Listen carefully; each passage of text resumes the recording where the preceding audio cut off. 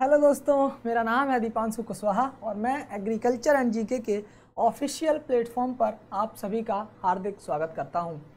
आज हम लोग बात करने वाले हैं agricultural entomology previous year questions के बारे में यानी कि जो आपके बार बार कम्पिटिटिव एग्ज़ाम में एग्रीकल्चरल एंटमोलॉजी से जो भी आपके क्वेश्चंस पूछे जाते हैं, उन क्वेश्चंस को हम यहाँ यहाँ पर लेके आए हैं लेके आए हैं यानी कि पिछली परीक्षाओं में जो भी आपके क्वेश्चंस आए हैं उन सभी को हम लोग यहाँ पर डिस्कस करने वाले हैं, जो कि इंपॉर्टेंट होंगे आपकी NSC central warehouse corporation और इफ्को के होने वाले पेपर्स के लिए बहुत अच्छे इंपॉर्टेंट होने वाले ठीक है? आप सभी के लिए इंपॉर्टेंट इन्फॉर्मेशन यदि अभी तक आपने हमारे official application agriculture and GK को डाउनलोड नहीं किया है तो प्लीज़ डाउनलोड कर लीजिएगा, जहाँ पर हमारे courses test series study material के साथ साथ आईसीआर के ई नोट्स भी प्रोवाइड किए जाएँगे। तो डाउनलोड करने की लिंक आपको वीडियो के डिस्क्रिप्शन बॉक्स में मिल जाएगी, वहाँ से आप लोग डाउनलोड कर सकते हैं, और जो हमारा प्ले स्टोर प्ले स्टोर पर जाकर के भी आप लोग इसे क्या कर सकते हैं? डाउनलोड कर सकते हैं। यदि अभी तक आपने हमारे YouTube channel agriculture and GK को सब्सक्राइब नहीं किया है तो प्लीज़ सब्सक्राइब कर लीजिएगा और नोटिफिकेशन बेल को प्रेस करना ना भूलें, ताकि यहाँ से आने वाली प्रत्येक वीडियो की नोटिफिकेशन आपको सबसे पहले मिल सके। यदि आप लोग प्रिपरेशन कर रहे हैं इफ्को एजीटी यानी कि एग्रीकल्चर ग्रेजुएट ट्रेनिंग एग्ज़ाम की तो आप सभी के लिए हमारा प्लेटफॉर्म एग्रीकल्चर एंड जी के लेकर के आया है एक बहुत ही शानदार कोर्स जिस कोर्स में आप सभी को 250 प्लस वीडियो लेक्चर्स मिलने वाले हैं। स्टडी मटेरियल, आपके एग्ज़ाम के लिए स्टडी मटेरियल प्रोवाइड कराया जाएगा। मॉक टेस्ट होंगे जो कि आपके एग्ज़ाम के पैटर्न के आधार पर होंगे और साथ ही साथ आपको जो प्रीवियस ईयर के क्वेश्चंस पेपर होंगे, वो भी यहाँ पर आपको प्रोवाइड कराए जाएँगे। ठीक है? अब यदि आप लोग इस मेंस के एग्ज़ाम को क्लियर करते हैं तो यहाँ पर आपको इंटरव्यू गाइडेंस प्रोग्राम भी कराया जाएगा। इसकी जो फ़ीस है वो मात्र बाईस सौ निन्यानवे रुपीज़ रखी गई है। तो यदि आप भी अपने सिलेक्शन को इंश्योर करना चाहते हैं, इस एग्ज़ाम को क्रैक करना चाहते हैं तो अभी परचेज कीजिए। परचेज करने की लिंक आपको वीडियो के डिस्क्रिप्शन बॉक्स में मिल जाएगी। वहाँ से आप लोग इसे परचेज कर सकते हैं और जो हमारा ऑफिशियल एप्लीकेशन है, वहाँ पर जाकर के भी आप लोग इसे परचेज कर सकते हैं। और जो यहाँ पर वेबसाइट दी गई एग्रीकल्चर जीके डॉट इन वहाँ पर जाकर के आप इसे लॉग इन कर सकते हैं। ठीक है? क्लियर है? आगे बढ़ा जाए। देखिए, बात करते हैं क्वेश्चंस के बारे में। क्वेश्चन देखिए क्या पूछा गया? क्वेश्चन पूछा गया another name for an insect walking leg is यानी कि जो आपके वॉकिंग टाइप लेग्स होते हैं, यहाँ पर जितने भी लोग जुड़े हैं प्लीज़ एक बार सेशन को लाइक कर दें और ज़्यादा से ज़्यादा लोगों तक इसे शेयर करें। ज़्यादा से ज़्यादा लोगों तक इसे शेयर करें। ताकि ज़्यादा से ज़्यादा लोग जुड़ सकें। हमें थोड़ा अच्छा लगेगा, थोड़ा सा उत्साहित होंगे, थोड़ा सा प्रोत्साहन मिलेगा तो प्लीज़ ज़्यादा से ज़्यादा लोगों तक इस वीडियो को शेयर करें। इसकी लिंक को बस कुछ नहीं करना है, एक बार कॉपी पर जाना है, उसको पेस्ट कर देना है सभी सोशल मीडिया प्लेटफॉर्म पर, ठीक है? बस इतना काम कर देना है, सभी लोग जुड़ जाइए, ज़्यादा से ज़्यादा लोगों को जोड़िएगा। देखिए क्वेश्चन यहाँ पर पूछा गया कि another name for an insect walking leg जो आपके वॉकिंग लैग होते हैं उनमें से इंसेक्ट के कौन से पार्ट हो सकते हैं? उनमें से कौन सा, कौन से प्रकार होते हैं? जैसे कि एम्बुलेटरी फेजोरियल या फिर आपका कर्जोरियल या फिर आपका साल्टाटोरियल तो देखिए, जो आपके वॉकिंग टाइप लेग्स होते हैं, उनका क्या नाम होता है? उनका अनदर नाम क्या होता है? तो देखिएगा यहाँ पर हम आपको कुछ चीज़ें बता देते हैं कि जैसे जो आपके साल्टाटोरियल प्रकार के जो आपके लेग होते हैं, वो किसमें पाए जाते हैं? वो आपके जो जंपिंग जो जंप करते हैं, जो इंसेक्ट क्या करते हैं? जंप करते हैं, उनमें किस प्रकार के साल्टाटोरियल प्रकार के क्या पाए जाते हैं? लेग पाए जाते हैं। और जो सीजिंग करते हैं, उनमें रेप्चोरियल प्रकार के पाए जाते हैं। फेजोरियल प्रकार के डिगिंग के लिए जो क्या करते हैं, गड्ढा खोदते हैं, फिर उनको डिग करने के बाद फिर वहीं पर एग लेइंग करते हैं, ठीक है? तो उनमें कैसे पाए जाते हैं? फेजोरियल प्रकार के। और जो स्विमिंग करते हैं, तैरते हैं, उनमें नेटाटोरियल प्रकार के क्या पाए जाते हैं? लेग पाए जाते हैं। और यदि बात करें कर्जोरियल तो वो हम कह सकते हैं रनिंग या फिर रनिंग या फिर वॉकिंग टाइप होते हैं। और एम्बुलेटरी की यदि हम लोग बात करते हैं तो एम्बुलेटरी आपके एम्बुलेटरी वॉकिंग टाइप क्लिंजिंग और स्कैनसोरियल और स्टिकिंग लेग्स फॉरेजिंग आपके पॉलिन कलेक्टिंग जो कि किसमें पाए जाते हैं? हनी बी में पाए जाते हैं। कौन से? पॉलिन कलेक्टिंग जो आपके यहाँ पर पॉलिन कलेक्टिंग लैग होते हैं बास्केट टाइप होता है, जो उनमें क्या? जो हनी बी होती है, उनमें पॉलिन कलेक्टिंग टाइप के लैग पाए जाते हैं, जिसे हम लोग बास्केट उसमें ऐसी बास्केट टाइप टोकरी पाई जाती है। उसी में वो क्या करते हैं? उसी में वो पॉलिन को कलेक्ट करते हैं तो ये किसमें पाए जाते हैं? ये आपके हनी बी में पाए जाते हैं। ठीक है? क्लियर है? तो यहाँ पर यदि लेग से क्वेश्चन पूछा जाएगा तो इसके बाहर नहीं आएगा। लेग आप लोग जानते होंगे इंसेक्ट में जो लेग होते हैं, उसके कितने प्रकार होते हैं? देखिए, सबसे ऊपर वाला जो पोर्शन होता है अपर उसे हम लोग कॉक्जा कहते हैं। कॉक्जा के नीचे वाला जो पोर्शन होता है, उसे हम लोग ट्रोकेंटर कहते हैं। और ट्रोकेंटर के बाद जो अगला पोर्शन होता है, उसे हम लोग फीमर कहते हैं। और फीमर के बाद फिर आपका जो आता है, उसे हम लोग टिबिया कहते हैं। और टिबिया के बाद आपका जो आता है, उसे हम लोग टारसस। और टारसस के सबसे नीचे जो लगा होता है, उसे हम लोग क्या कहते हैं? प्री टॉर्सस कहते हैं। क्या कहते हैं? उसे हम लोग प्री टॉर्सस कहते ठीक है?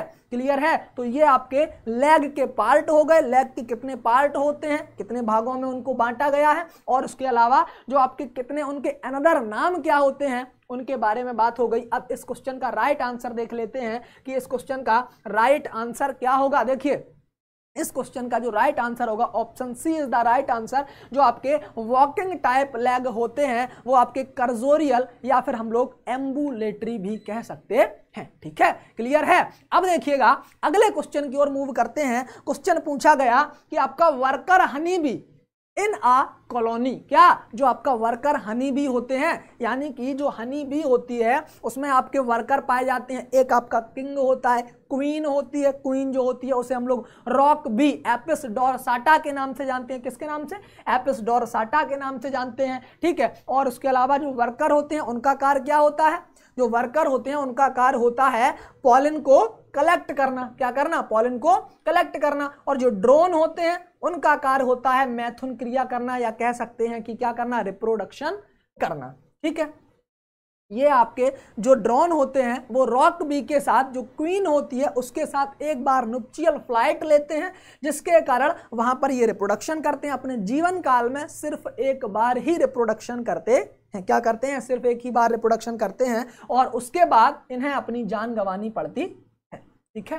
क्लियर है? अब जो आपकी वर्कर हनी बीज होती हैं, उनमें, उनकी कॉलोनी में वर्कर हनी बी में पाए जाते हैं आर ऑल स्ट्राइल फीमेल सभी जो फीमेल्स होती हैं, वो कैसी होती हैं? स्ट्राइल होती हैं। हैव दी सेम मदर उनकी जो मदर होती है, वो कैसी होती है? समान होती हैं।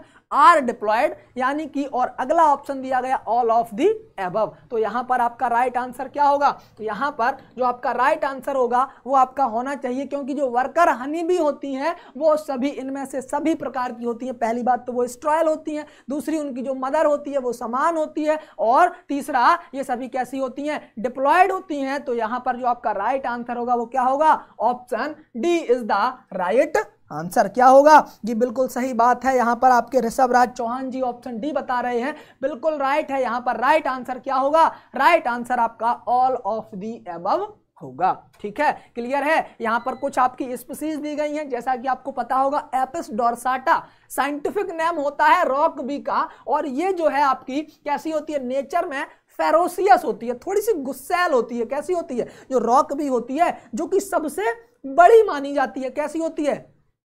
लार्ज हनी भी मानी जाती है, वो कैसी होती है? फेरोसियस टफ टू रियर थोड़ा सा इसे पालना कैसा होता है? अब चूँकि गुस्सेल होती है फेरोसियस नेचर की होती है, इसलिए इसकी रियरिंग करना हमें थोड़ा सा कैसा लगता है? थोड़ा सा टफ होता है। और एपिस इंडिका की बात करते हैं तो ये आपकी इंडियन भी होती है, जो कि best and most used for rearing इसकी सबसे ज़्यादा हम लोग क्या करते हैं? रियरिंग करते हैं। एपिस फ्लोरिया ड्वार्फ या फिर इसी को हम लोग लिटिल बी या छोटी मधुमक्खी के नाम से जानते हैं, ये आपकी avoided due to low yield क्योंकि इसका जो हनी प्रोडक्शन होता है, बहुत कम होता है, इसलिए हम लोग इसकी रियरिंग नहीं करते हैं, बहुत कम करते हैं।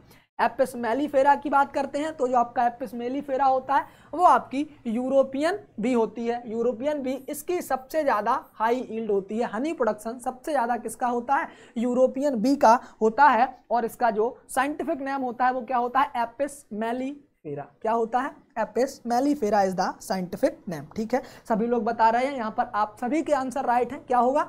All is the right answer यानी कि option D is the right answer ठीक है? अगले क्वेश्चन की ओर मूव करते हैं। क्वेश्चन देखिए, पूछा गया। Family of the Drosicha mangifera जो आपका ड्रोसिचा मेंजी फेरा होता है उसकी फैमिली क्या होती है? यहाँ पर बताया गया।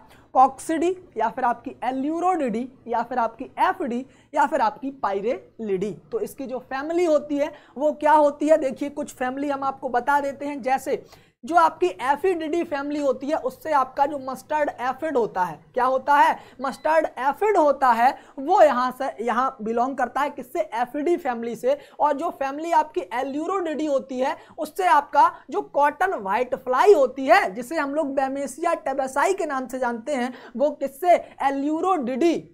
एल्यूरो डिडी और आपकी जो सुगर कैन व्हाइट फ्लाई होती है एल्यूरोलोबस बैरोडेंसिस जिसे हम लोग कहते हैं, वो भी आपकी एल्यूरोडिडी फैमिली से बिलोंग करती है। और यदि हम लोग बात करते हैं कॉक्सिडी की तो कॉक्सिडी में जो आपका मैंगो मियली बग आता है, क्या आता है? मैंगो मियली बग वो आपका एग्ज़ाम्पल होता है किसका? कॉक्सिडी फैमिली से बिलोंग करता है। और यदि बात करें लैक्यो फॉरडी जो आपकी लैक्यो फॉरडी फैमिली एग्ज़ाम्पल होता है लैक इंसेक्ट जो आपका लाख का कीट होता है, जिसका साइंटिफिक नेम लेसिफर लक्का होता है।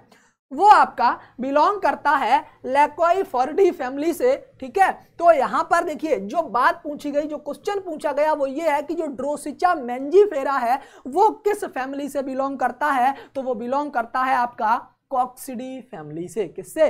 वो आपका कॉक्सिडी फैमिली से बिलोंग करता है, ठीक है? क्लियर है। यानी कि जो ड्रोसिचा मैंगी मैंजी फेरा होता है, उसका साइंटिफिक नेम होता है, ये कौन होता है? मैंगो मियली बग, आपने सुना होगा। Mango mealy bug white colour के होते हैं। आपने देखे होंगे जहाँ पर भी आप पत्तियाँ होती हैं, पत्तियों पर ये क्या करते हैं? बहुत ज़्यादा अपनी लार्वल स्टेज को ग्रो करते हैं।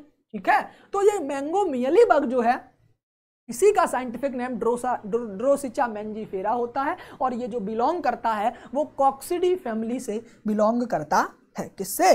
कॉक्सिडी फैमिली से बिलोंग करता है। सर एनएससी एग्ज़ाम के लिए भी मैराथन क्लास करा दीजिए। बिल्कुल कराएँगे, परेशान ना हो, बस लगातार जुड़े रहिए, बिल्कुल कराएँगे। Organophosphate and carbamate insecticides work by disrupting an insect क्या बताया गया कि ऐसे आपके जो जो इंसेक्टिसाइड होते हैं कौन कौन से? ऑर्गेनोफॉस्फेट और आपका कार्बामेट दोनों क्या इंसेक्ट के किस पार्ट को डिजरप्ट करते हैं? किस पार्ट को डिजरप्ट करते हैं?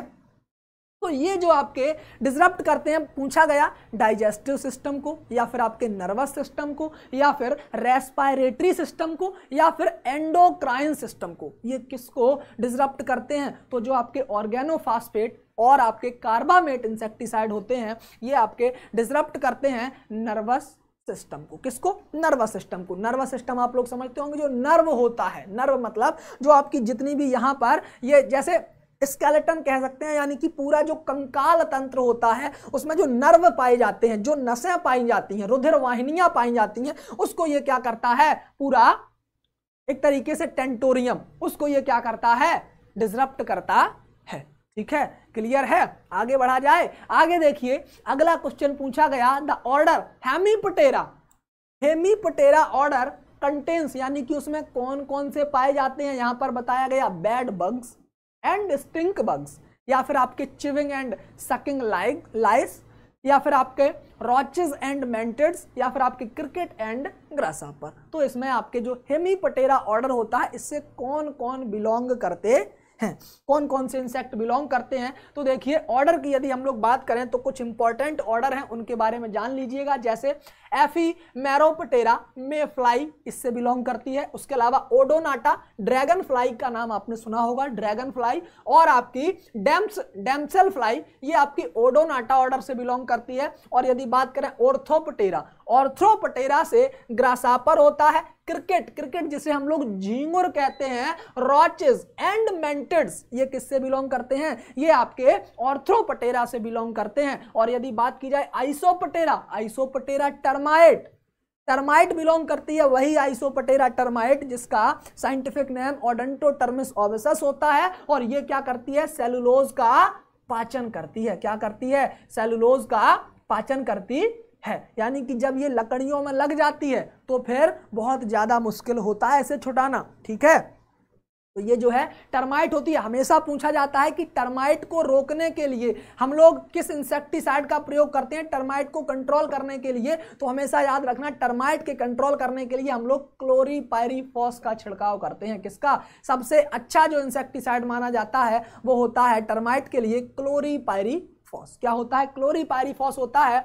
अगला जो आपका ऑर्डर है, उसका नाम है डरमेप्टेरा डरमेप्टेरा का से जो बिलोंग करता है इंसेक्ट उसका नाम होता है ईयरविग और हेमीपटेरा से बिलोंग करता है ट्रूबग और इसके अलावा होमोपटेरा सिकैड सिकैडस एंड आपके हॉपर्स होते हैं। कोलियोपटेरा से आपके बीटल्स बिलोंग करते हैं। न्यूरोपटेरा से आपके लेस विंग बिलोंग करते हैं। लैपिडोप्टेरा से बटरफ्लाई और जितने भी आपके मौत होते हैं। बटरफ्लाई मौत वो सभी किससे बिलोंग करते हैं? लैपिडोप्टेरा से बिलोंग करते हैं। हमेशा याद रखना, जो बटरफ्लाई और जो मौत होते हैं, हमेशा कैसे होते हैं? नॉकटर्नल इंसेक्ट होते हैं। ये हमेशा रात्रि में निकलते हैं। कैसे? रात्रि में बाहर निकलते हैं। वही आपके क्या कहलाते हैं? नॉकटर्नल इंसेक्ट कहलाते हैं। और जो डिप्टेरा होती हैं डिप्टेरा में सभी, जितनी भी आपकी मक्खियाँ आती हैं, जितनी भी फ्लाइज वो सभी डिप्टेरा से बिलोंग करती है। मोस्टली आपकी जो हाउस फ्लाई होती है हाउस फ्लाई वो आपकी किससे बिलोंग करती है, जिसे हम लोग मस्का डोमेस्टिका या मस्का नेबुलो के नाम से जानते हैं, वो आपकी किससे बिलोंग करती है? डिप्टेरा ऑर्डर से बिलोंग करती है और जो आपका मॉस्किटो होता है, उसमें भी वो किससे बिलोंग करता है? डिप्टेरा ऑर्डर से बिलोंग करता है। हाइमेनोपटेरा से आंट वास्प और आपकी बीज बिलोंग करती ठीक है? क्लियर है? इतनी बात क्लियर है? तो जितने भी आपके ऑर्डर थे, यहाँ पर आप सभी को उनके एग्ज़ाम्पल और कौन से ऑर्डर से कौन सा आपका कीट बिलोंग करता है? शायद आपको पता चल गया होगा। नोट कर लेना अच्छे से।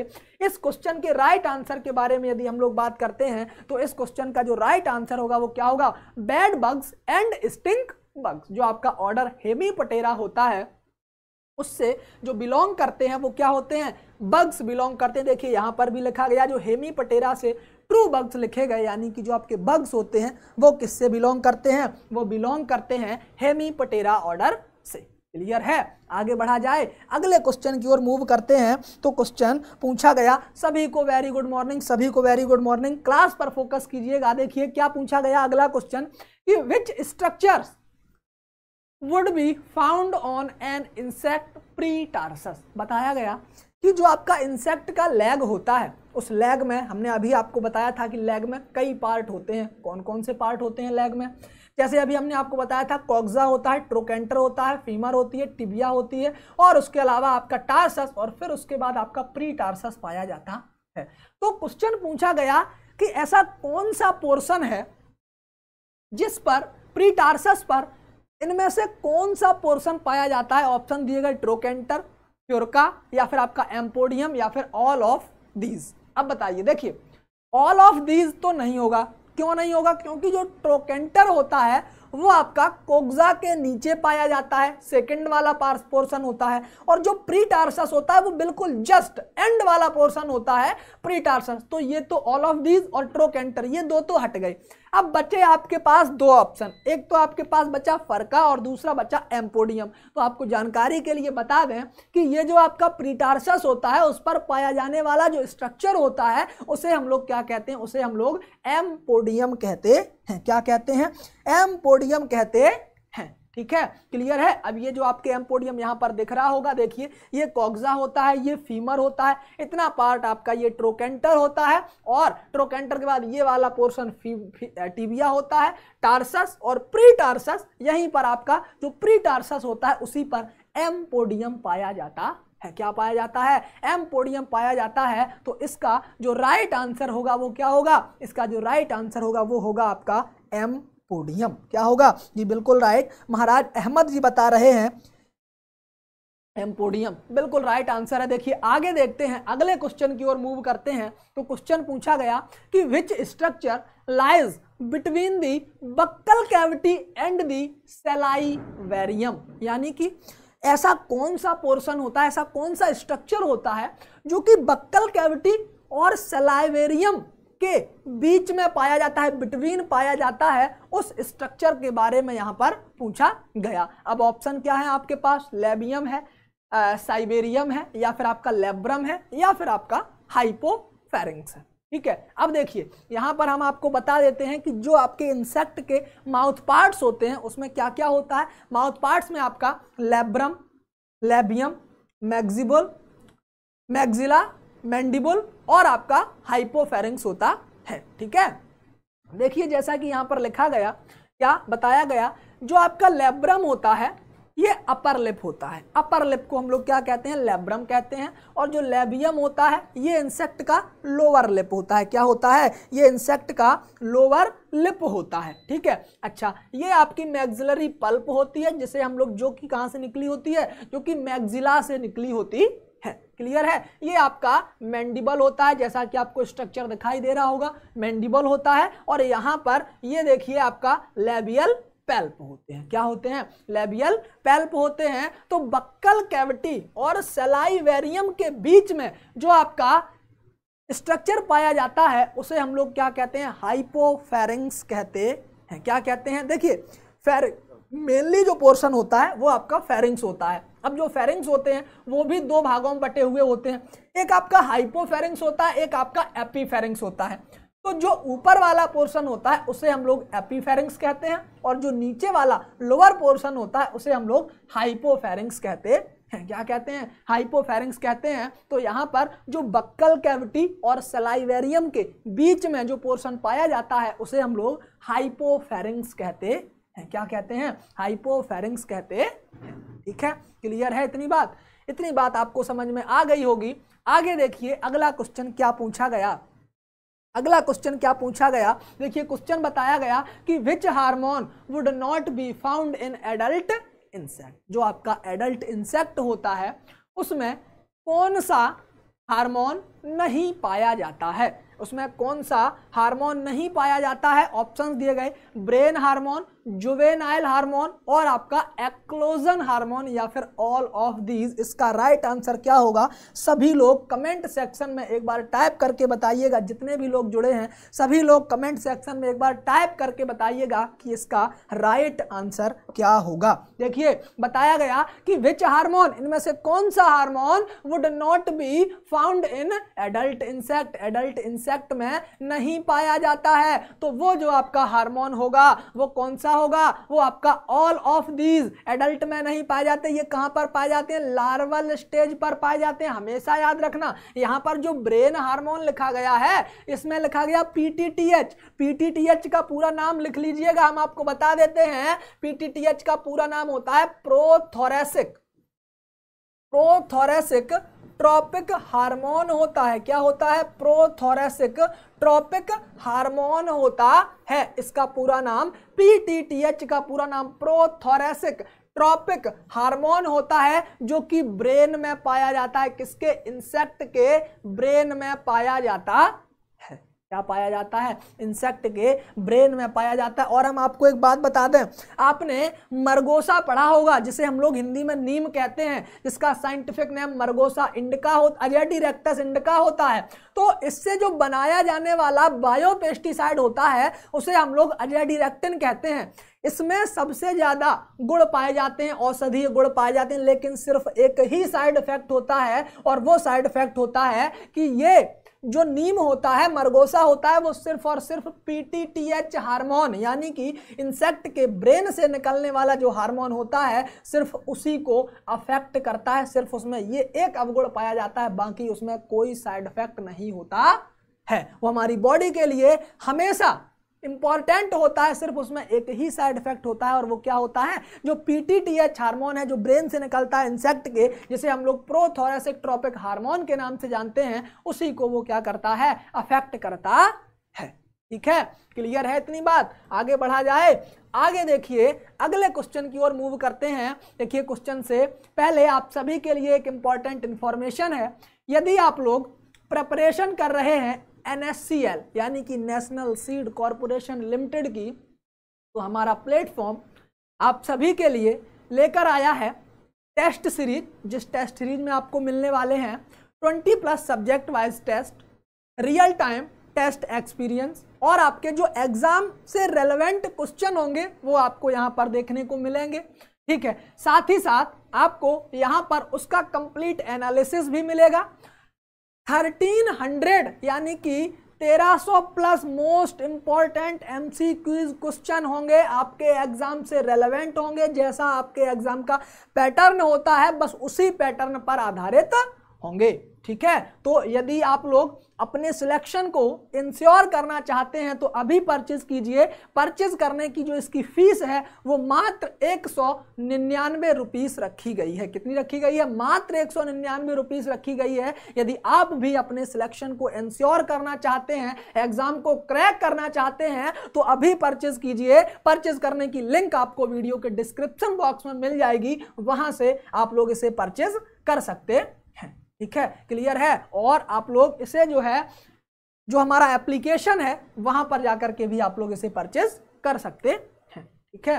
क्लियर है? आगे बढ़ा जाए। आगे देखिएगा, अगला क्वेश्चन पूछा गया all species of order space show hypermetamorphosis यानी कि हाइपर मेटामॉर्फोसिस का मतलब क्या होता है?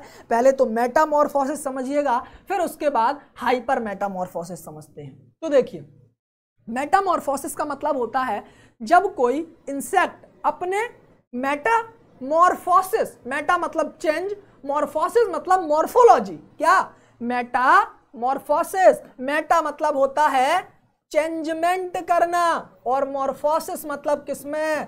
मॉर्फोलॉजी में किसमें चेंजमेंट करना? मॉर्फोलॉजी में चेंजमेंट करना। बस इसी को हम लोग क्या कहते हैं? इसी को हम लोग मेटामॉर्फोसिस कहते हैं। क्या कहते हैं? इसी को हम लोग मेटामॉर्फोसिस कहते हैं।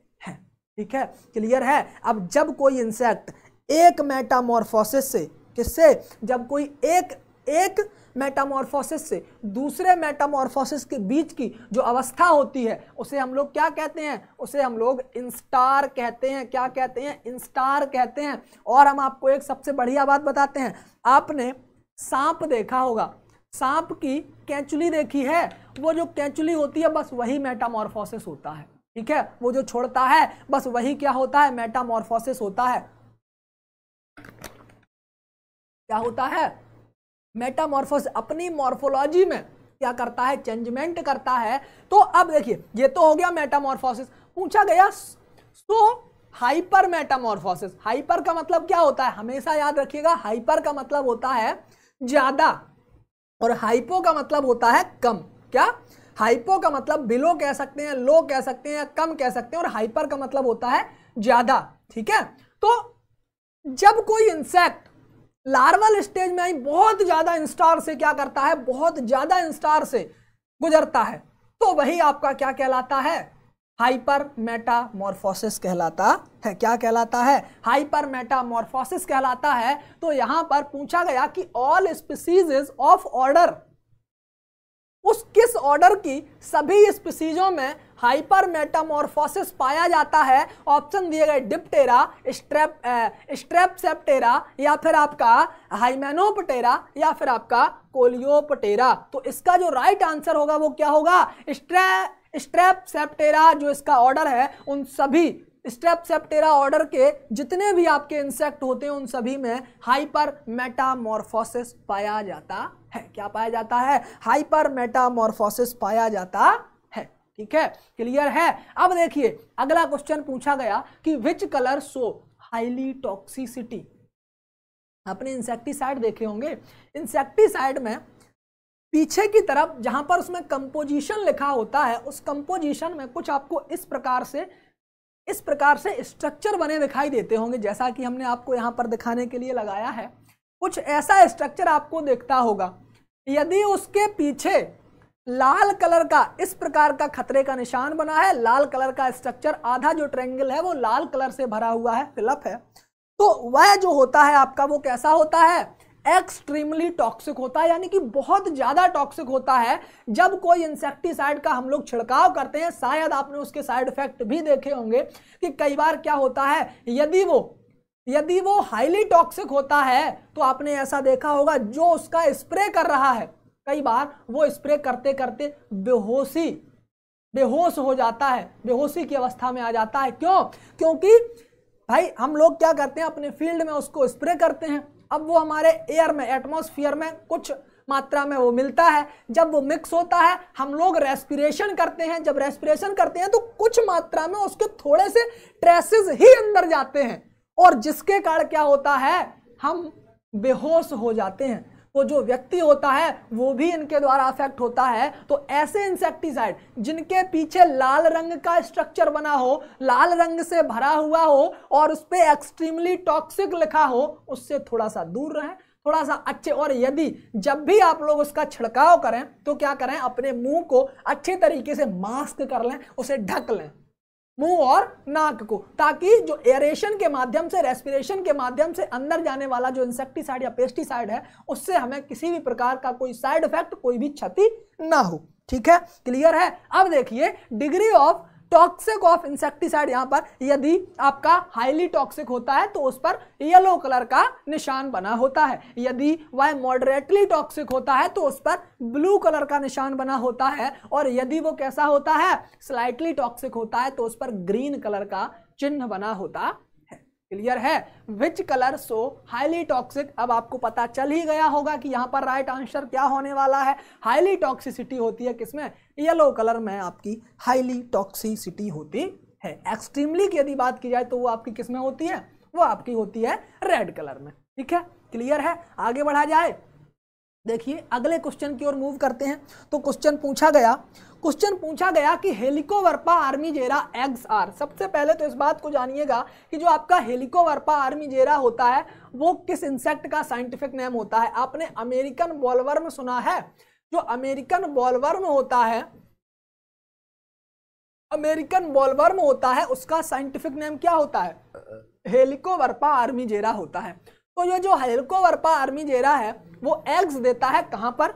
इन बंचीज अंडर लीफ, जो आपके लीफ होती है, अंडर लीफ का मतलब होता है, जो निचली सतह होती है, वहाँ पर देता है, या फिर scattered mainly one third portion of plant यानी कि जो प्लांट होता है, उसका जो वन थर्ड पोर्शन होता है स्कैटर्ड मेनली वहाँ पर देते हैं। या फिर आपके नॉट विजिबल विदाउट लेंस उनको हम लोग विदाउट लेंस के नहीं देख सकते हैं, या फिर oval shaped and on flower. Oval shape का मतलब यहाँ पर जो एग्स हैं, उनके बारे में बताया गया कि जो आपके एग हैं, वो ओवल शेप के देता है और कहाँ पर देता है? फ्लावर पर देता है। तो अब देखिएगा, इसका जो राइट आंसर होने वाला है, वो क्या होगा? जब ये हेलिकोवर्पा एग्स देता है, वो कहाँ पर देता है? Scattered, mainly one third portion of plant. Egg कैसे होते हैं? स्केटर्ड होते हैं, फैले हुए होते हैं और one third portion of plant. Plant के वन थर्ड पोर्शन पर, ये पूरे पोर्शन पर ये क्या करता है? एग्स देता है, ठीक है? क्लियर है? अब देखिए, अगले क्वेश्चन की ओर, अगला क्वेश्चन पूछा गया। Rosette flower is attack of जो आपका रोजेट फ्लावर होता है, वो किसके अटैक्स से लगता है? रोजेट फ्लावर एक प्रकार का डिज़ीज़ होता है। यदि उस पर किस इंसेक्ट का प्रकोप हो जाए या अटैक हो जाए, जिसके कारण, यहाँ पर, जिसके कारण जो आपका अटैक है, वो, जो डिज़ीज़ सिम्टम्स होते हैं, वो किसके होते हैं? रोजेट फ्लावर के होते हैं। तो देखिएगा, जैसा कि आपको पता होगा रोजेट फ्लावर जो होता है मेनली लगता है किसमें? कॉटन में। किसमें लगता है?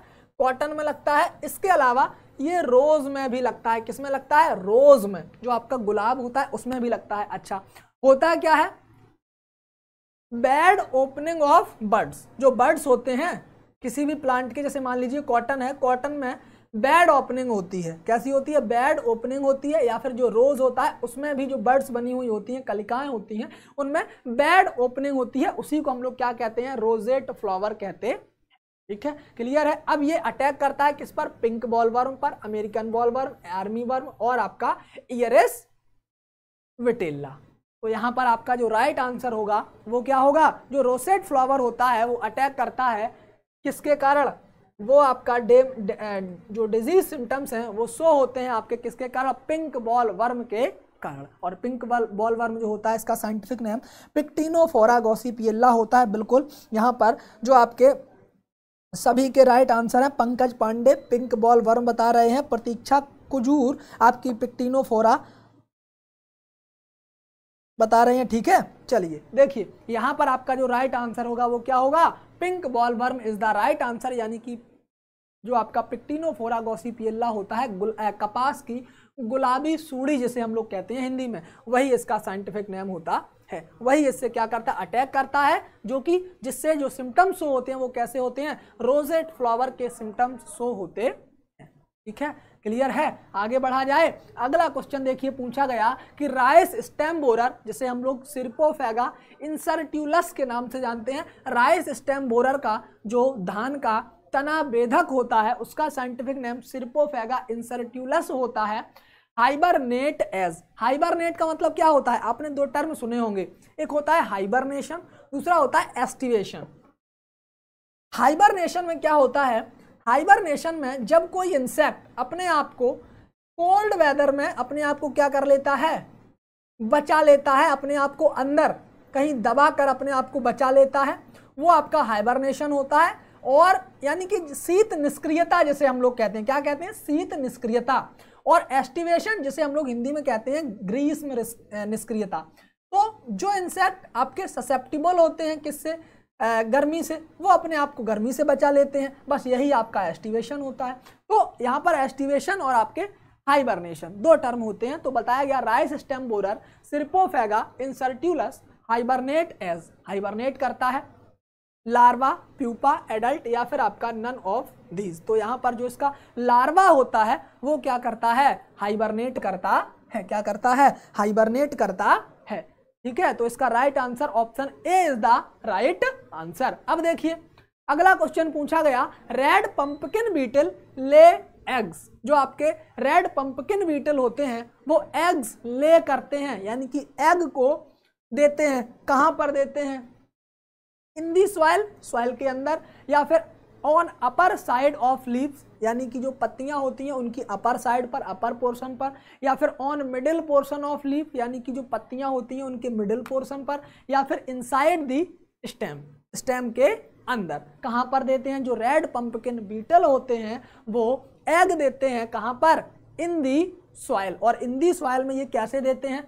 हमेशा याद रखना, जो बीटल होते हैं उनके पीछे की ओर ओवी पोजीशन जो होता है, उनको वो क्या करते हैं? अंदर की ओर सॉइल में धसा देते हैं अपने ओवी पोजीशंस को, वहाँ पर जगह बनाते हैं और उसके बाद वहीं सॉइल में क्या करते हैं? अपने एग को ले करते हैं। क्या करते हैं? एग लेइंग करते हैं। ठीक है? तो इसका राइट आंसर क्या होगा? रेड पंपकिन बीटल एग ले करती है कहाँ पर? इन दी सॉइल कहाँ पर करती है? इन दी सॉइल और देखिए ट्रेड नेम ऑफ़ डायाफेंथ्यूरान इस जो आपका डायाफेंथ्यूरान होता है, उसका ट्रेड नेम क्या होता है? उसका ट्रेड नेम क्या होता है? तो यहाँ पर एग्ज़ाम ऑप्शन दिए गए, एंडोसल्फान, कार्बोफ्यूरान, पोलो या फिर आपका बेस्टॉक्स। देखिएगा, जो डायाफेंथ्यूरान होता है, उसका तो ट्रेड नेम ट्रेड नेम का मतलब होता है जिस नाम से मार्केट में जाना जाता है। किसी भी प्रोडक्ट को जिस नाम से मार्केट में जाना जाता है, वो होता है उसका ट्रेड नेम या इसी को हम लोग मार्केट नेम से जानते हैं और जिसमें इसका केमिकल कंपोजिशन होता है, जो जो मिलाकर के बनाया जाता है, उसके आधार पर इसका जो नाम रखा जाता है, उसे हम लोग केमिकल नेम कहते हैं। क्या कहते हैं? उसे हम लोग केमिकल नेम कहते हैं। ठीक है? तो अब देखिए, इसके जो ट्रेड नेम होते हैं, कुछ आपको इंपॉर्टेंट ट्रेड नेम के बारे में यहाँ पर बताया गया, जैसे कि जो एबामैक्टिन होता है, इसका ट्रेड नेम वर्टीमैक होता है एसिटामिप्रिड होता है, इसका जो ट्रेड नेम मॉस्पिलान होता है, और आपका क्लोरफेनाप्रिल, क्लोरफेनापायर, इसका सिक्योर फिप्रोनिल, जो फिप्रोनिल होता है, इसका ट्रेड नेम रिजेंट होता है, और मैथा, मैथामिडोफॉस, ये आपका ट्रेड नेम होता है नाइटोफॉल इंसेक्टिसाइड, ठीक है? मिथोमिल की यदि बात करते हैं तो इसका जो होता है मार्लिन, और आपका थाया, मिथोक्सम, ये आपका एक्टारा इंसेक्टिसाइड और स्पाइनोसाइड का ट्रेड नेम होता है सक्सेस टू नेचुरा लाइट, ठीक है? ये इसके क्या होते हैं? कुछ इंपॉर्टेंट आपके इंसेक्टिसाइड हैं जिनके यहाँ पर ट्रेड नेम लिखे गए हैं। इनको आप सभी को याद रखना है और जो यहाँ पर क्वेश्चन पूछा गया था डाइफ डाइफेंथ्यूरान इसका जो राइट आंसर होगा वो क्या होगा? उसका जो राइट आंसर होगा वो होगा आपका पोलो क्या होगा? Polo is the right answer और देखिएगा, यहाँ पर डीडीटी डिस्कवर्ड इन डीडीटी का पूरा नाम क्या होता है? Dichloro divinyl tri phosphate tri phenyl acetate देखिए डीडीटी डीडीटी के बारे में यदि हम लोग बात करते हैं तो ये आपका पहली बार कहाँ पर बनाया गया था? लेबोरेटरी में 1873 में बनाया गया था। कब? 1873 में और 1939 में डॉक्टर पॉल मुलर किसने? डॉक्टर पॉल मुलर ने इसे डिस्कवर किया था DDT also effective in killing insect insect को किल करने में इफ़ेक्टिव होता है। During W W I I D D T use to kill mosquito mosquito को मारता है। दैट स्प्रीड मलेरिया जो कि जिनके कड़ क्या? मलेरिया फैलता है। And other insect borne human disease among civilians and the military ठीक है? After the war DDT was commercialised and accessible to the public the US used and produce million of pound DDT during the mid 90s और 1972 में जो EPA banned the sale of DDT for use on crop क्या? Crop के लिए DDT को ban कर दिया गया था। यहाँ पर क्वेश्चन पूछा जाता है कि डीडीटी को बैन कब किया गया? बैंड हर्बिसाइड जो होते बैंड इंसेक्टिसाइड हैं, उनमें जो डीडीटी है, उसे कब बैन किया गया? तो वो बैन किया गया 1972 में। ठीक है? The use no longer uses DDT but many other countries in the world continues to use to control malaria ठीक है? अब देखिए, जो DDT को डिस्कवर किया था, वो हम लोगों ने कब किया था? DDT को डिस्कवर 1939 में। और हमेशा याद रखिएगा लाइब्रेरी लेबोरेटरी में पहली बार कब बनाया था? वो बनाया था 1873 में कब बनाया था? 1873 में बनाया गया। और ये आपका डिस्कवर 1939 में क्लियर है? आगे बात करते हैं। The origin of foregut is, जो आपका ऑरिजिन होता है।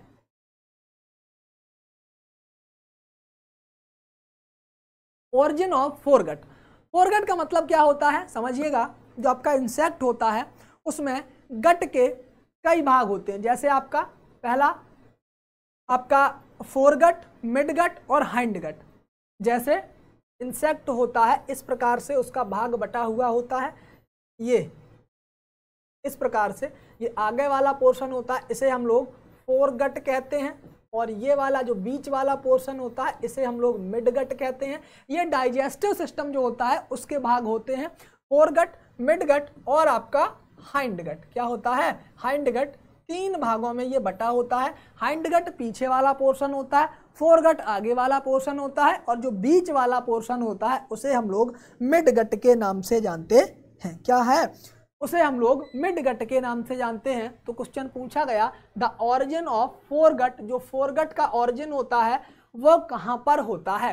एक्टोडर्मल में, या फिर आपका मीजोडर्मल, या फिर आपका एंडोडर्मल, या फिर आपका नन ऑफ़ दीज तो फोर गट का जो ऑरिजिन होता है, वो कहाँ पर होता है? वो आपका एक्टोडर्मल होता है। कैसा होता है? एक्टोडर्मल होता है। एक्टो मतलब बाहर की ओर डर्म मतलब त्वचा। ठीक है? तो फोर गट का जो ऑरिजिन होता है, वो कहाँ पर होता है? एक्टोडर्मल होता ठीक है? क्लियर है? Which of the following cotton pest belong to family pyrrhocoridae, जो आपका पायरोकोर्डी फैमिली से बिलोंग करता है, कॉटन पेस्ट, वो आपका कौन सा होता है? जैसा कि यहाँ पर बताया गया, डिसडर्कस, या फिर आपका पिक्टिनोफोरा, या फिर आपका ईयरिस या फिर आपका बेमिसिया। बेमिसिया मतलब बेमिसिया टेबेसाई बताया गया, जिसे हम लोग व्हाइट फ्लाई के नाम से जानते हैं। किसके नाम से? व्हाइट फ्लाई के नाम से जानते हैं। इसका राइट आंसर क्या होगा? जल्द से जल्द सभी लोग कमेंट सेक्शन में बताइएगा, इसका राइट आंसर क्या होगा? देखिए which of the following cotton pest belong to family pyrrhocoridae इसका राइट right आंसर क्या होगा? जो आपका डिसडरकस होता है, वो बिलोंग करता है किससे? पायरो कोरडी फैमिली से बिलोंग करता है किससे? पायरो कोरडी फैमिली से बिलोंग करता ठीक है? क्लियर है? आगे देखिएगा nozzle used for producing mist as यानी कि ऐसे नोजल के बारे में बताइए जो यूज़ किया जाता है मिस्ट प्रोड्यूस करने के लिए। मिस्ट का मतलब होता है मिस्ट का मतलब होता है कि ऐसे बूंदे, पानी या स्प्रिंकलर जब हम लोग करते हैं तो मिस्ट का मतलब होता है ऐसा फब्बारा, ऐसा स्प्रिंकलर जो कि, जो वो बूंद का पार्टिकल साइज़ है, जो आकार है वो हवा के साथ मूव करता है, उसी को हम लोग क्या कहते हैं? मिस्ट कहते हैं। क्या कहते हैं? मिस्ट कहते हैं। तो ये जो इतनी छोटी हल्की बूंदें होती हैं कि वो जैसे ही एयरेशन होता है विंड फ्लो होता है, उसके साथ ही ये कुछ दूरी तक विंड के साथ ही बहता चला जाता है। वही आपका मिस्ट होता है, इसका जो साइज़ होता है वो zero point zero zero zero five से भी कम होता है, ठीक है? तो ऐसे आपके जो नोजल होते हैं, नोजल का मतलब जब हम लोग स्प्रिंकलर के लिए आगे जो नोजल लगा होता है, जहाँ से ये जो आपका इंसेक्टिसाइड या पेस्टिसाइड होता है, जिसको हम लोग स्प्रिंकल करते हैं, जिसको हम लोग क्या करते हैं, बाहर निकालते हैं, वो आपका नोजल वाला पोर्शन होता है। तो उसको, मिस्ट को प्रोड्यूस करने के लिए हम लोग किस नोजल का प्रयोग करते हैं। किस नोजल का हम लोग यहाँ पर प्रयोग करते हैं तो हमेशा याद रखिएगा कि जो आपके रोटरी एनर्जी नोजल होते हैं, जैसा कि यहाँ पर आपके लिए नोजल लगाए गए, कुछ अलग अलग प्रकार के यहाँ पर नोजल लगाए गए। ये देख लीजिएगा, इस प्रकार के नोजल होते हैं, जो कि आपके स्प्रिंकलर पर लगाए जाते हैं। जैसे आपका मान लीजिए वो होता है नेपसेक स्प्रेयर नेपसेक स्प्रेयर होता है, उससे हम लोग क्या करते हैं इंसेक्टिसाइड को छिड़कते हैं, का छिड़काव करते हैं। तो उस पर आगे की ओर जो नोजल लगाया जाता है, वो कुछ आपने इस प्रकार के नोजल लगे देखे होंगे, जो कि क्या करते हैं, जब हमें मिस्ट, बहुत ही छोटे साइज़ में जब हमें स्प्रिंकलर को गिरवाना होता है, जब हमें इस स्प्रे करना होता है तो फिर हम लोग रोटरी एनर्जी नोजल का प्रयोग करते हैं। किसका? रोटरी एनर्जी नोजल का प्रयोग करते ठीक है? क्लियर है? आगे बढ़ा जाए। अगले क्वेश्चन की ओर मूव करते हैं। तो क्वेश्चन पूछा गया कि bacillus thuringiensis is most effective at pH जो आपका बेसिलस थ्यूरेंजेंसिस होता है, जिसे हम लोग, जिसे हम लोग, जो आपका बेसिलस थ्यूरेंजेंसिस है, ये थ्यूरेंजिया नामक स्थान पर पाया गया था। कहाँ पर? थ्यूरेंजिया नामक स्थान पर पाया गया था। तो इसीलिए इसका नाम हमने क्या रख दिया? बेसिलस थ्यूरेंजेंसिस नाम रख दिया। अब ये जो है आपका, पूछा गया कि ये किस पीएच मान पर इफ़ेक्टिव होता है? क्या होता है?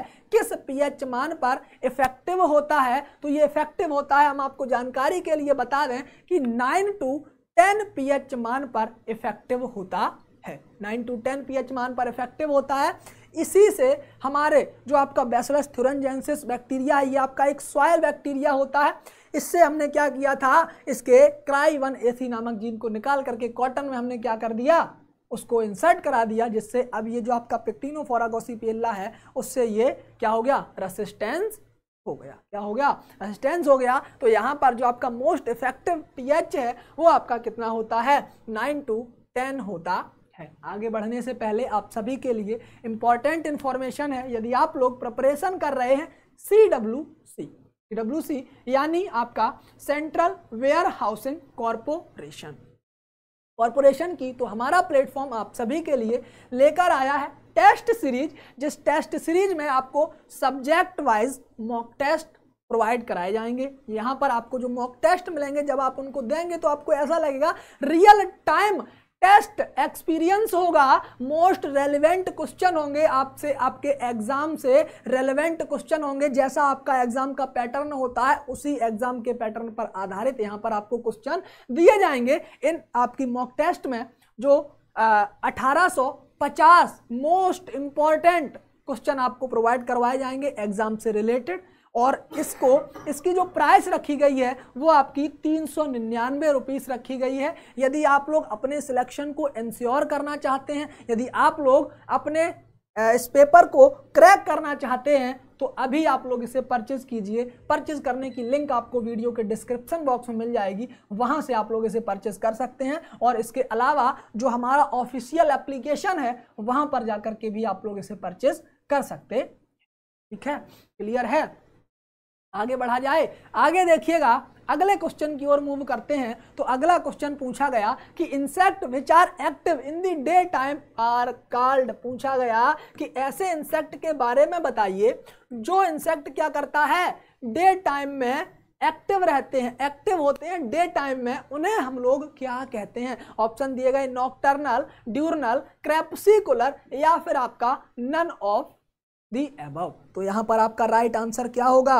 राइट आंसर क्या होगा? देखिएगा insects which are active in the day time तीन प्रकार के होते हैं नॉक्टर्नल ड्यूरनल और आपके क्रैप्सिकुलर नॉक्टर्नल का मतलब होता है ऐसे इंसेक्ट जो कि क्या करते हैं? रात्रि यानी कि नाइट में एक्टिव होते हैं. कब? नाइट में एक्टिव होते हैं वो आपके नॉक्टर्नल यानी कि हिंदी में कहें तो रात्रिचर कीट कहलाते हैं. ड्यूरनल मतलब दिनचर जिसे हम लोग कह सकते हैं. तो जो आपके डे टाइम टाइम में एक्टिव होते हैं किसमें? डे टाइम में एक्टिव होते हैं, वो आपके ड्यूरनल कहलाते हैं। और ऐसे इंसेक्ट जो शाम के समय, यानी कि इवनिंग में, कब? इवनिंग में छह से आठ बजे तक, छह बजे से लेकर के आठ बजे तक एक्टिव होते हैं, वो आपके क्या कहलाते हैं? क्रैप्सिकुलर इंसेक्ट कहलाते हैं। क्या कहलाते हैं?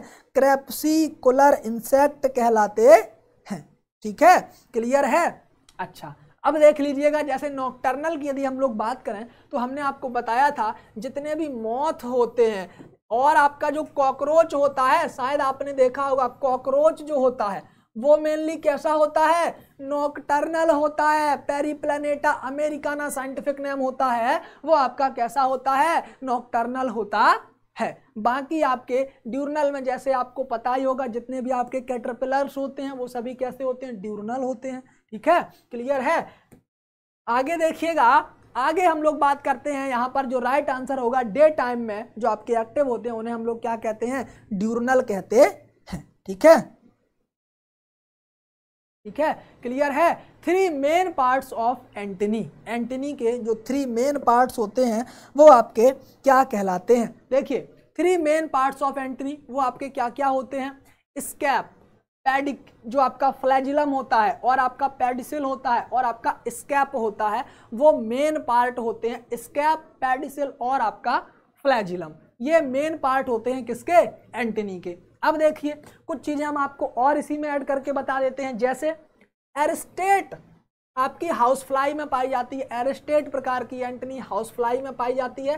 कैपिटेट प्रकार की एंटनी बटरफ्लाई में पाई जाती है। क्लेवेट प्रकार की एंटनी आपकी कैरियन बीटल्स में पाई जाती है फिलीफॉर्म प्रकार की एंटनी कॉकरोच में पाई जाती है, जेनिकुलेट प्रकार की एंटनी बी में पाई जाती है, लेमिलेट प्रकार की एंटनी स्कैरब बीटल में पाई जाती है, मोनलीफॉर्म प्रकार की एंटनी टर्माइट में पाई जाती है और पैक्टिनेट प्रकार की जो एंटनी है वो आपकी फायर फ्लाई में पाई जाती है। प्लूमोज प्रकार की मॉस्किटो, सीरेट आपकी क्लिक बीटल और सिटेसियस आपकी ड्रैग, ड्रैगन फ्लाई में पाई जाती किसमें पाई जाती है?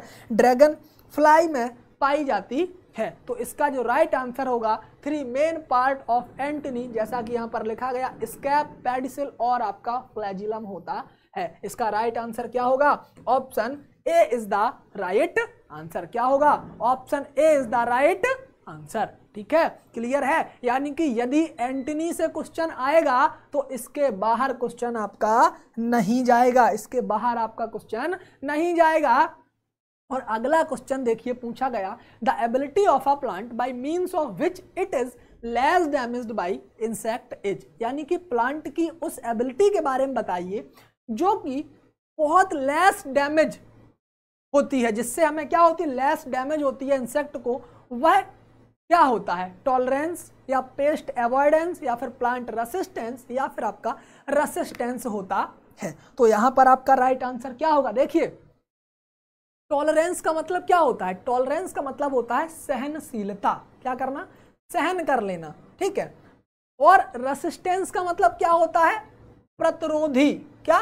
प्रतिरोधी। वो उससे क्या हो जाती है? उसके प्रति, वो प्रतिरोधी हो जाती है, उसके अगेंस्ट कार्य करने लगती है। रेसिस्टेंस आपने जानते होंगे रेसिस्टेंस प्रतिरोध, जिसे हम लोग कहते हैं इलेक्ट्रिसिटी में भी पढ़ाया जाता है। जब हम लोग जो आपके फिजिक्स में भी पढ़ाया जाता है इलेक्ट रेजिस्टेंस यानी कि प्रतिरोध। अपोजिट में कार्य करता है। क्या करता है? उसके अपोजिट कार्य करता है। और सहनशीलता का मतलब ये होता है कि आप जैसे मान लीजिए किसी भी बच्चे को यदि आप लोग एक तमाचा मार देते हैं, वो एक दिन तो उसे थोड़ा लगता है, दो दिन मारते हैं, फिर उसे थोड़ा कम लगता है, तीन दिन मारते हैं, फिर उसे थोड़ा और कम लगता है, चार, पाँच छः दिन लगातार आप मारते रहिए, एक दिन ऐसा आएगा कि वो उस तमाचे से क्या हो जाएगा? बिल्कुल टॉलरेंस हो जाएगा, वो ऐसे करेगा, गाल, और आपका तमाचा ले लेगा। यानी कि ये क्या हो जाता है? उसके लिए वो सहनशीलता हो जाती है, क्योंकि डेली उसे वही काम करना है तो फिर वो पहले से ही ऐसे गाल कर देता है, लीजिए मारिए। तो ये चीज़ क्या होती है? सहनशीलता होती है। तो ऐसी एबिलिटी को हम लोग क्या कहते हैं? टॉलरेंस कहते हैं। क्या कहते हैं? टॉलरेंस कहते हैं। वही आपका क्या कहलाता है? यहाँ पर टॉलरेंस कहलाता है। इसका राइट आंसर क्या होगा? इसका राइट आंसर जो होगा, वो होगा टॉलरेंस क्या होगा? Tolerance is the right answer अब देखिए, अगला क्वेश्चन पूछा गया कि example of monophagous insect is देखिए मोनोफेगस इंसेक्ट का मतलब क्या होता है? सबसे पहले इस बात को समझ लेते हैं कि जो आपका मोनोफेगस इंसेक्ट होता है, वो होता क्या है? देखिए मोनोफेगस इंसेक्ट का मतलब होता है कि जैसे, मान लीजिएगा मोनो मतलब हो गया एक फेगस मतलब हो गया उसको फ़ीड करने वाला। क्या? फ़ीड करने वाला। यानी कि जब कोई इंसेक्ट पेस्ट सिर्फ़ और सिर्फ़ किसी भी प्लांट की सिंगल स्पीसीज पर अटैक करता है, सिर्फ़ एक ही स्पीसीज पर अटैक करता है, ऐसे इंसेक्ट पेस्ट आपके क्या कहलाते हैं? मोनोफेगस इंसेक्ट पेस्ट कहलाते हैं। क्या कहलाते हैं? मोनोफेगस इंसेक्ट पेस्ट कहलाते हैं। जो आपका मोनोफेगस का एग्ज़ाम्पल होता है, वो क्या होता है? वो आपका होता है जैसे सिल्क वर्म हो गया। क्या हो गया? सिल्क वर्म जिसे हम लोग क्या कहते हैं?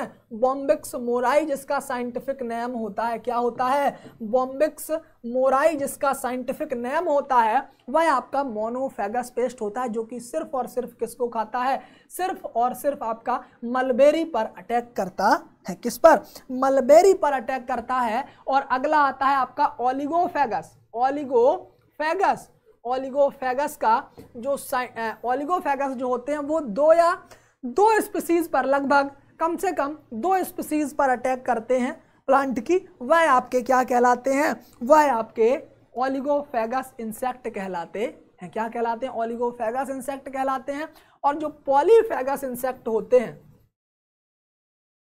पॉलीफेगस इंसेक्ट होते हैं, वह इंसेक्ट जो दो या दो से अधिक, यानी कि more than two species more than two species वो अटैक करते हैं दो या दो से अधिक स्पीसीज पर। वह आपके पॉलीफेगस इंसेक्ट कहलाते हैं। क्या कहलाते हैं? पॉलीफेगस इंसेक्ट कहलाते हैं तो इसका जो राइट आंसर होगा मोनोफेगस इंसेक्ट का जो राइट आंसर होगा, वो क्या होगा? नन ऑफ़ दी क्या होगा? नन ऑफ़ दी अब क्योंकि जो हेलिकोवर, पार्मिलेरा, आंट और ग्रीन लेस विंग, ये सभी कैसे होते हैं? ये सभी पॉलीफेगस इंसेक्ट होते क्या होते हैं?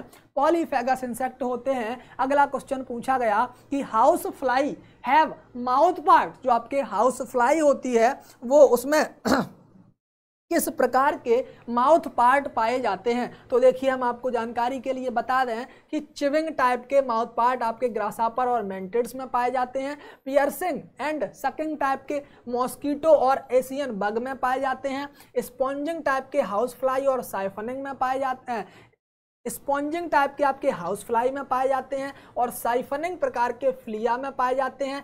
चिविंग और लैपिंग टाइप के जो माउथ पार्ट्स होते हैं, वो आपके हनी बी में पाए जाते हैं। किसमें पाए जाते हैं? हनी बी में पाए जाते हैं, ठीक है? तो house fly have mouth part, जो हाउस फ्लाई होती है, उसमें जो आपके माउथ पार्ट्स पाए जाते हैं, वो कैसे होते हैं? वो आपके स्पॉन्जिंग टाइप के होते हैं, जैसा कि यहाँ पर लिखा गया, स्पॉन्जिंग हाउस फ्लाई तो हाउस फ्लाई में आपके कैसे पाए जाते हैं? स्पॉन्जिंग टाइप के माउथ पार्ट्स पाए जाते हैं? क्लियर है? आगे देखिएगा।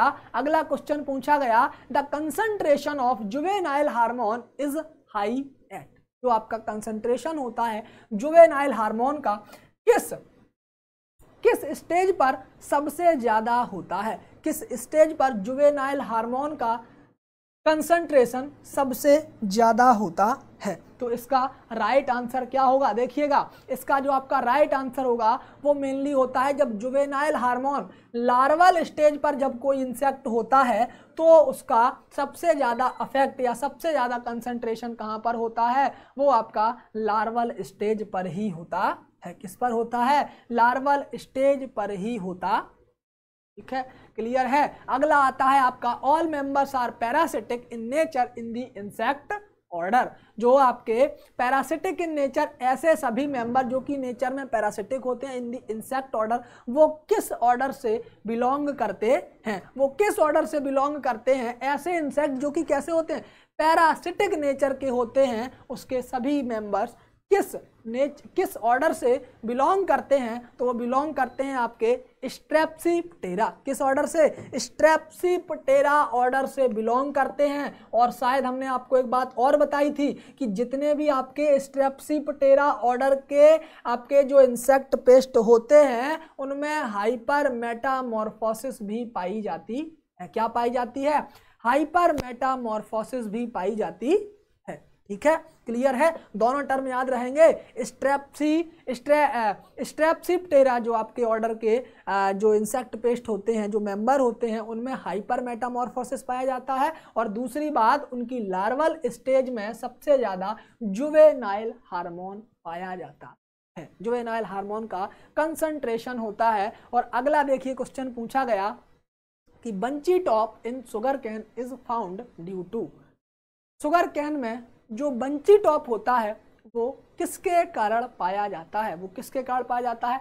Top borer, stem borer, root borer या फिर आपका गुरदासपुर बोरर के द्वारा? तो यहाँ पर जो आपका राइट आंसर होगा, वो क्या होगा? जो उसका राइट आंसर होगा, bunchy top in sugar cane is found due to वो आपका टॉप बोरर के द्वारा होता है बंची टॉप एक डिज़ीज़ होता है, जो कि टॉप बोरर के द्वारा किसमें लगता है? सुगर कैन में लगता है। शुगर कैन का, याद रखिएगा शुगर कैन का सबसे खतरनाक, जो आपका सबसे मोस्ट इंपॉर्टेंट इंसेक्ट पेस्ट होता है, उसका नाम क्या होता है? पायरिल्ला परप्यूसिल्ला होता है। क्या होता है? पायरिल्ला परप्यूसिल्ला होता है। ठीक है? इसको याद रख लेना। क्वेश्चन यहाँ से आपके पूछे जाते ठीक है? क्लियर है? A secondary pest is a secondary pest का मतलब क्या होता है? देखिए, दो प्रकार के होते हैं। एक होता है प्राइमरी पेस्ट दूसरा होता है सेकेंडरी पेस्ट प्राइमरी पेस्ट का मतलब होता है कि जब वो ग्रेन को पहली बार ही डैमेज करते हैं, क्या करते हैं? सिर्फ़ पूरे पूरे ग्रेन को क्या कर देते हैं? डैमेज कर देते हैं। वो तो आपके प्राइमरी इंसेक्ट कहलाते हैं। और सेकेंडरी इंसेक्ट का मतलब होता है कि जो डैमेज ग्रेन को अटैक करते हैं। यानी कि कहा जाए तो प्राइमरी वो जो फ्रेश ग्रेन को अटैक करते हैं और पूरे जो सीड कोट होता है उसको छोड़ देते हैं, बाकी अंदर अंदर के पूरे पोर्शन को खा जाते हैं। ठीक है? अच्छा सेकेंडरी पेस्ट वो पेस्ट होते हैं जो डैमेज ग्रेन पर अटैक करते हैं, जो कि पहले एक बार अटैक हो चुका होता है, उन पर ये अटैक करते हैं। वह पेस्ट आपके सेकेंडरी पेस्ट कहलाते हैं। सुधीर कुमार जी, पायरिल्ला परपुसिल्ला बता रहे हैं, बिल्कुल राइट आंसर है। वो आपका शुगर कैन का था। इसके बारे में बताइए, इसका राइट आंसर क्या होगा? A secondary pest is a इसका राइट आंसर क्या होगा? सेकेंडरी पेस्ट के बारे में बताया। क्या होता है? जो अटैक्ड या डैमेज ग्रेन पर अटैक करते हैं, वो आपके सेकेंडरी पेस्ट कहलाते हैं। तो इसका जो राइट right आंसर होगा, वो क्या होगा? Red flour beetle is the right answer क्या होगा? Red flour beetle is the right answer khapra beetle right answer नहीं होगा. इसका राइट आंसर होगा रेड फ्लोर बीटल क्या होगा? Red flour beetle is the right answer in which year the destructive insect pest act was passed देखिएगा. जो आपका destructive insect paste की यदि हम लोग बात करते हैं तो उसे हम लोग क्या कहते हैं? डीपा क्या बोलते हैं? डीपा बोलते हैं डी आई पी ए देखिए डीपा कहते हैं, ये आपका किस 1914 में कब हुआ था? 1914 में इसे पास किया गया था। कब किया गया था? 1914 में इसे पास किया गया था। तो इसका जो आपका राइट आंसर होगा, देखिए, कुछ आपको चीज़ें बता देते हैं। जैसे 1912 में प्लांट क्वारंटाइन एक्ट पास हुआ था। 1914 में destructive insect and pest act DIPA लागू किया गया था। 1916 में imperial forest research institute at Dehradun और आपका आ, 1925 में Indian lac research institute started at Ranchi और 1937 में एक लेबोरेटरी बनाई गई for storage pest was started at Hapur UP और उन्नीस सैतीस में ही इस्टेब्लिशमेंट हुआ entomology division at IRI new Delhi में और उन्नीस सौ उनतालीस में locust warning organisation warning organisation establish किया गया। 1945 में directorate of plant protection quarantine and storage DPPQS जिसे हम लोग कहते हैं, और अगला आता है 1900 1959 में सेंट्रल इंसेक्टिसाइड एक्ट पास किया गया। क्या उन्नीस उनसठ में, उन्नीस अड़सठ में सेंट्रल इंसेक्टिसाइड एक्ट पास किया गया? ठीक है? तो ये आपके कुछ मेन क्या थे? कुछ आपकी डेटेज थी जिनको आप लोग डेट थी जिनको आप लोग याद करके रखना है। इसका जो राइट आंसर होगा वो क्या होगा? 1914 इज़ द राइट आंसर क्या होगा? 1914 इज़ द राइट आंसर ठीक है? आगे देखिएगा।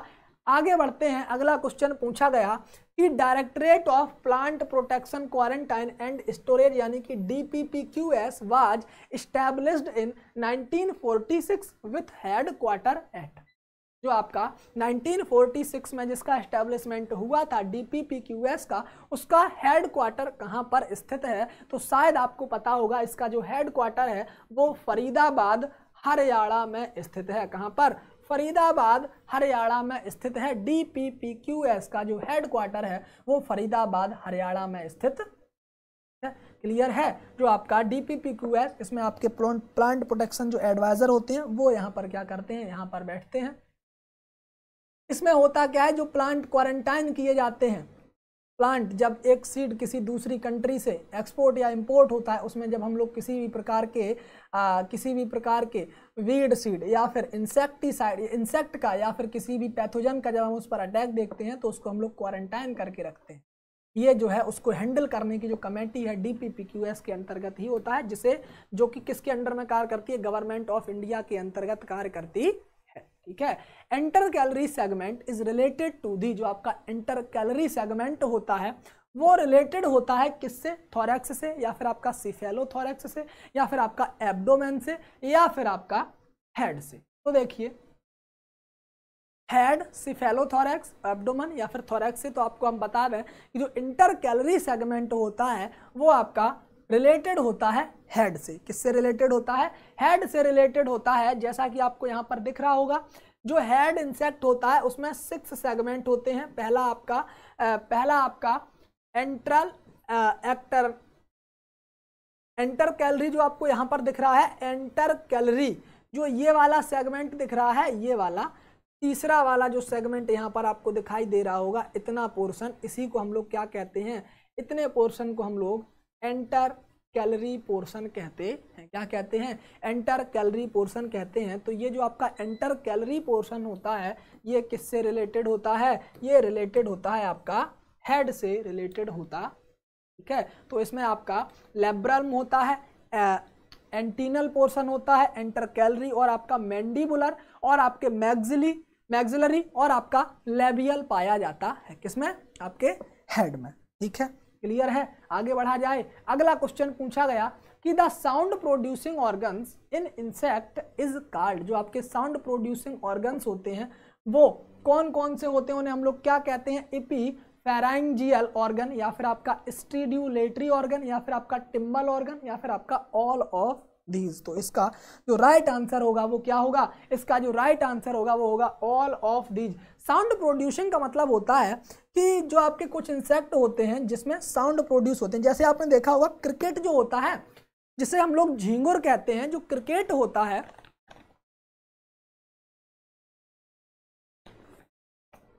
जो क्रिकेट होता है झींगुर, उसे आपने देखा होगा, जब रात्रि में लगभग शाम के समय आपने एक आवाज़ देखी होगी, सी सी की आवाज़ आती है। वो आवाज़ किसकी आती है? वो आवाज़ आती है जो क्रिकेट होता है, वो अपने पंजों को, पैरों को इस प्रकार से रगड़ता है। क्या करता है? फ्रैक्शन करता है। जब वो फ्रैक्शन करता है तो उसी की आवाज़ होती है, जैसा कि आपने जब देखा होगा, जहाँ पर बहुत ज़्यादा झाड़ियाँ हों, वहाँ पर से आप जब रोड से गुजर रहे हो तो बहुत तेज़ आवाज़ आती है, सी सी की आवाज़ आती है शाम के समय, रात्रि में। वो यही आवाज़, यही साउंड प्रोड्यूसिंग करते हैं, वो अपने जो उनके लेग्स होते हैं, उनको ये पंजों को इस प्रकार से फ्रैक्शन करते हैं, उनको रगड़ते हैं, ठीक है?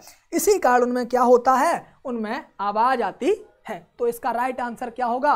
All of these is the right answer अगला क्वेश्चन पूछा गया juvenile hormone first discovered by जो आपका जुवेनाइल हार्मोन है, उसे पहली बार डिस्कवर किया था।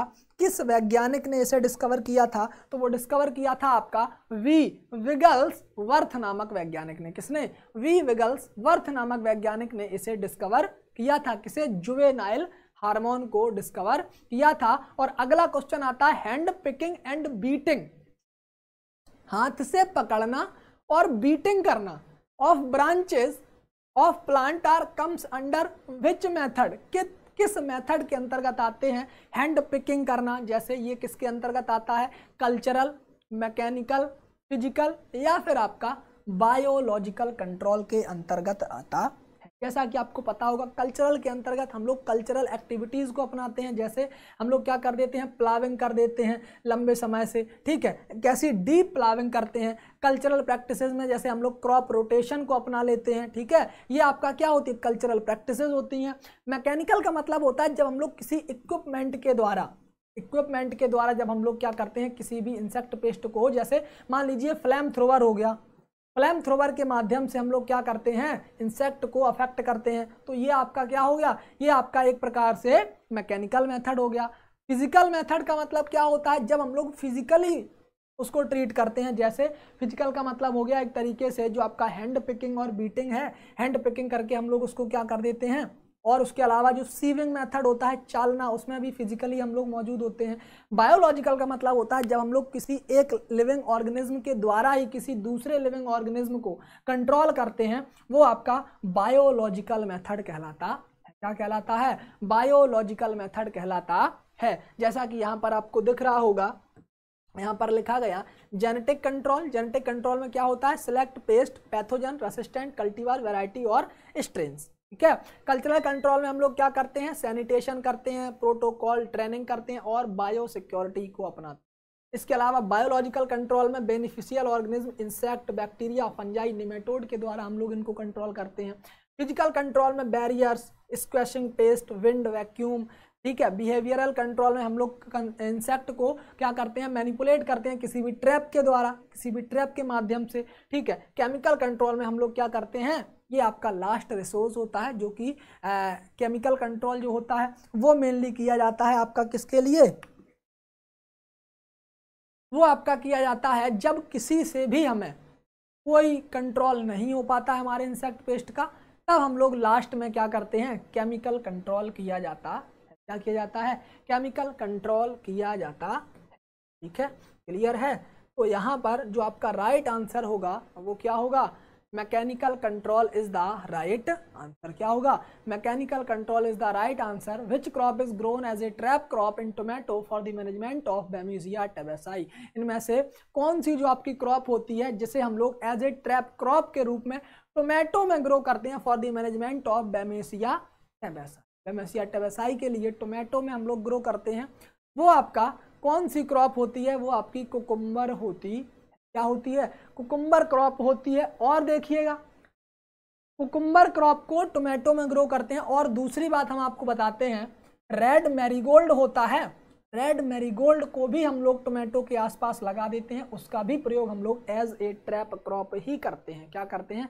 एज ए ट्रैप क्रॉप ही करते हैं। और जो ओकरा और कॉटन होती है तो कॉटन को बचाने के लिए हम लोग ओकरा का प्रयोग करते हैं, क्या करते हैं? ओकरा का प्रयोग करते हैं तो ओकरा का एज ए ट्रैप क्रॉप प्रयोग किया जाता, क्या किया जाता है? ट्रैप क्रॉप यानी कि एज ए आकर्षण फ़सलों के रूप में हम लोग इनका प्रयोग करते हैं। तो टोमेटो की यदि बात आए तो आपका कोकुम्बर हो सकता है, या फिर आपका रेड मैरीगोल्ड का भी प्रयोग हम लोग यहाँ पर कर सकते हैं। किसका? रेड मैरीगोल्ड का भी हम लोग यहाँ पर प्रयोग कर सकते हैं। ठीक है? क्लियर है? इतनी बात क्लियर है? आगे बढ़ा जाए। अगला क्वेश्चन पूछा गया the aim of biological control is the keeping of pest population below the किसके नीचे? E I L G E P ETL या फिर डैमेज बाउंड्री बताया गया कि बायोलॉजिकल कंट्रोल का जो एम होता है, वो क्या होता है? Keeping of pest population below the pest population को किसके बिलो रखना? किस स्टेज के, किस लेवल के बिलो यानी कि नीचे रखना? वो होता है आपका ई आई एल या फिर आपका G P G E P या फिर आपका ई टी एल या फिर आपका डैमेज बाउंड्री जैसा कि आपने देखा होगा, कुछ इस प्रकार से आपको ये जो स्ट्रक्चर दिख रहा है, इसका मतलब क्या होता है? देखिए, जो सबसे नीचे वाली लाइन होती है, इसे हम लोग डैमेज बाउंड्री कहते हैं। क्या कहते हैं? इसे हम लोग डैमेज बाउंड्री कहते हैं।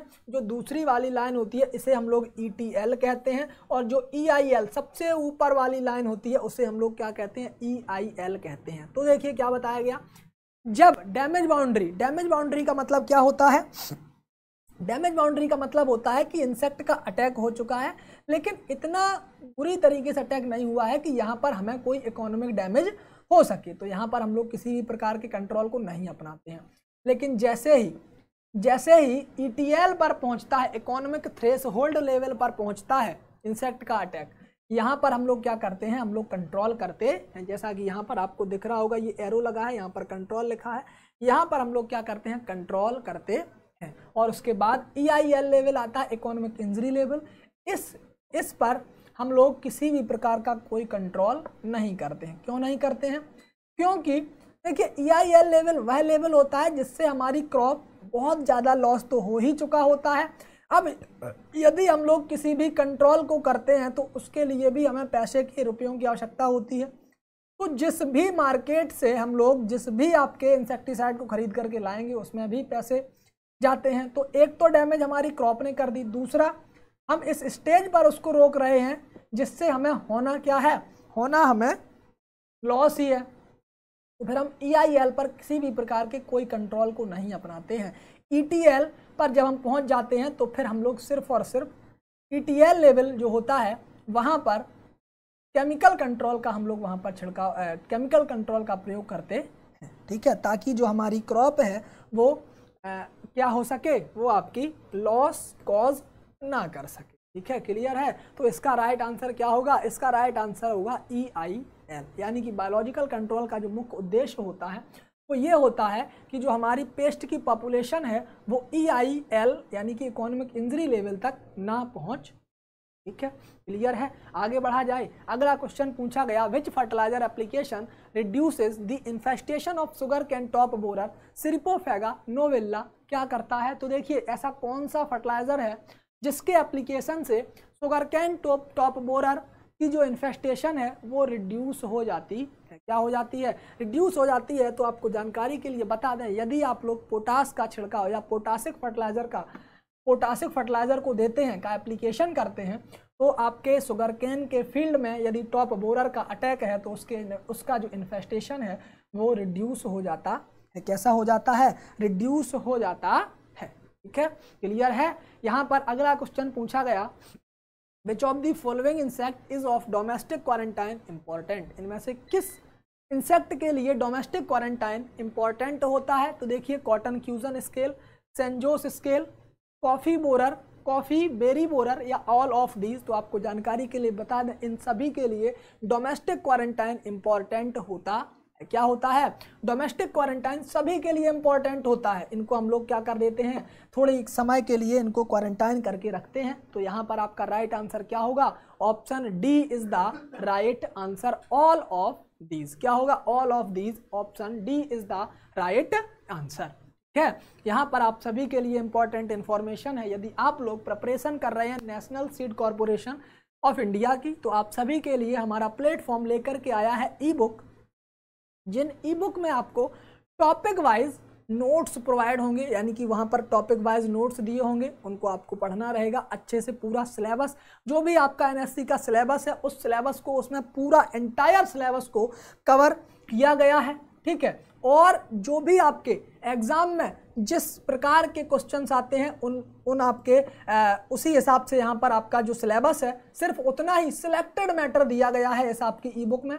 तो बहुत ज़्यादा नहीं पढ़ना है, बहुत सिलेक्टेड मैटर पढ़ना है, बहुत ज़्यादा पढ़ने के लिए तो बहुत सारी बुकें हैं, कब तक पढ़ोगे? यदि सिलेक्शन लेना चाहते हैं तो सिर्फ़ उसी सिलेक्टेड मैटर को पढ़िए। यदि आप उस सिलेक्टेड मैटर को पढ़ते हैं तो आपका सिलेक्शन यहाँ पर। यदि आप भी अपने सिलेक्शन को इंश्योर करना चाहते हैं तो इसे आप लोग परचेज कर सकते हैं। परचेज करने की लिंक आपको वीडियो के डिस्क्रिप्शन बॉक्स में मिल जाएगी। वहाँ से आप लोग परचेज कर सकते हैं। परचेज करने के लिए दूसरी बात, आप हमें व्हाट्सअप कर सकते हैं।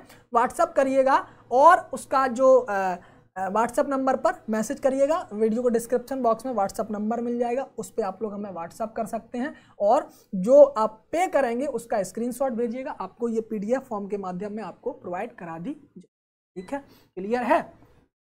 आगे बढ़ते हैं। ये जो है आपका आज का पूरा कंप्लीट एंटमोलॉजी का यहाँ पर सेशन कंप्लीट होता है। जितने भी लोग जुड़े, आप सभी लोगों को बहुत बहुत धन्यवाद। लास्ट तक जुड़े रहने के लिए वीडियो को ज़्यादा ज़्यादातर लोगों के साथ शेयर कीजिएगा और ज़्यादा से ज़्यादातर लोगों के पास पहुँचाइएगा और सभी लोगों को बताइए कि इफ़को एन और CWC के लिए हमारे प्लेटफॉर्म पर डेली दस बजे आपको यहाँ पर क्लास मिलेगी। आप सभी लोग जुड़िएगा।